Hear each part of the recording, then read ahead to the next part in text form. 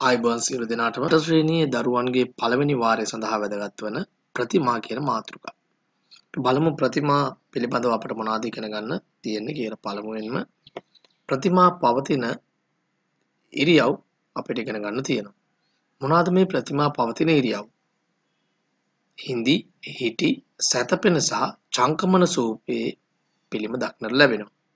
හිඳි පිළිමයක් කියන්නේ හඳුන්වන්නේ හිඳගත් ඉරියව්වෙන් පවතින ප්‍රතිමාය. හිටි පිළිමයක් යනුවෙන් හඳුන්වන්නේ හිටගත් ඉරියව්වෙන් සිටින ප්‍රතිමා. සැතපෙන පිළිමයක් බුදුන් වහන්සේ සැතපෙන ආකාරයෙන් දක්වා තියෙනවා. චංකමන ස්වරූපය කියන්නේ සක්මන් කරමින් සිටින ඉරියව්වෙන් දක්නට ලැබෙන බුද්ධ ප්‍රතිමාවන්. මේ ප්‍රතිමා අපි ප්‍රධාන ආකාර තුනකට බෙදා දක්වනවා.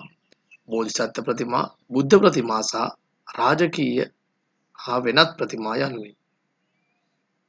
පළමුවෙන්ම අපි ඉගෙන ගන්නේ බෝධිසත්ව ප්‍රතිමා පිළිබඳව.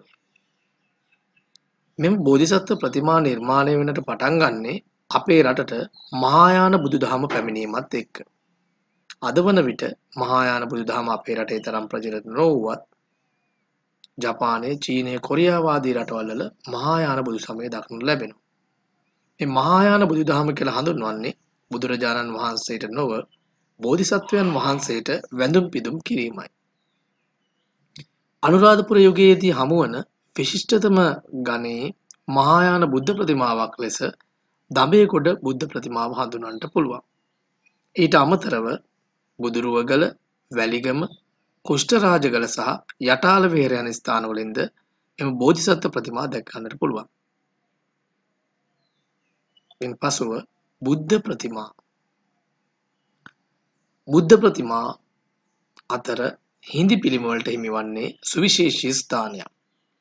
මෙම හිඳි ප්‍රතිමාවන් ධ්‍යාන මුද්‍රාව හා වීරාසන මුද්‍රාව යන ආකාරවලින් බහුලව දක්නට ලැබෙනවා.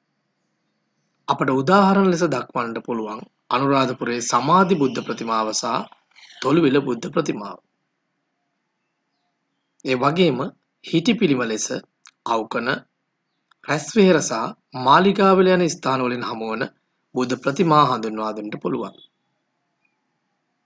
පොළොන්නරු යුගයේදී බුදු පිළිම නිර්මාණයේදී විශිෂ්ට සලකුණක් ලෙස හඳුන්වන්නට පුළුවන් ස්ථානයක් තමයි උත්තරාරාමයේ හෙවත් ගල් විහාරය කියන ස්ථානය.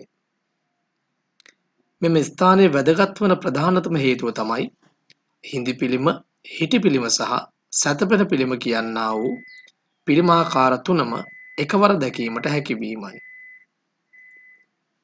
රාජකීය හා වෙනත් ප්‍රතිමා රුවන්වැලි සෑමලුවෙන් හමුවෙන ප්‍රතිමාව රාජකීයගේ යැයි විශ්වාස කරනු ලබන අතර එය දුටුගැමුණු රජුගේ හෝ ඇතැමකු භාතිකාභය රජුගේ යැයි මත පල කරයි. එවගේම පොළොන්නරුව පරාක්‍රම සමුද්‍රය අසල පීටා ඇති පරාක්‍රම බහුරත්තුමාගේ ප්‍රතිමාව ඇතැමකු විසින් පොළොන්නරුවේ විසූ කපිල ඍෂිවරයාගේ හෝ පුලස්ති ඍෂිවරයාගේ බවටද මත පල කරනවා.